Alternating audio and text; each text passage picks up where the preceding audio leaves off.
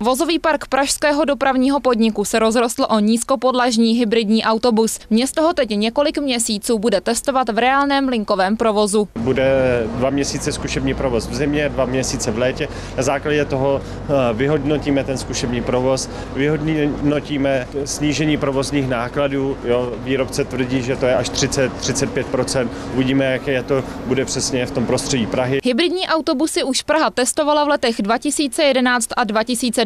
Tehdejší technologie ale vedení města nepřesvědčily. Nový model vozu ale slibuje hned několik výhodných vlastností. Ten hybridní autobus má dvě technologie. Má technologii naftovou a technologii, elektrickou. Tento hybridní autobus si tu elektrickou energii vyrábí sám. To znamená, eh, v okamžiku, když to vozidlo brzdí, v tu chvíli ta energie se nemaří někde v nějakých brzdách, v nějakých kotoučových brzdách, ale ukládá se do akumulátorů a v okamžiku, když to vozidlo se rozjíždí, tak naopak zase tomu naftovému motoru pomáhá, pomáhají akumulátory při rozjezdu. Čili hybrid autobus eh, primárně šetří energii eh, a tím, že ji šetří, to znamená spaluje méně nafty, eh, vylučuje méně emisí a je méně hlučný. Čili to je jako základní princip toho hybridního autobusu. Pokud město nakonec dojde k názoru, že by provoz hybridních autobusů byl výhodný, jeho pořizovací cena by podle generálního ředitele Pražského dopravního podniku byla závislá na konfiguraci vozu určeného speciálně pro pražský terén. Protože to rozpětí může být poměrně e, velké.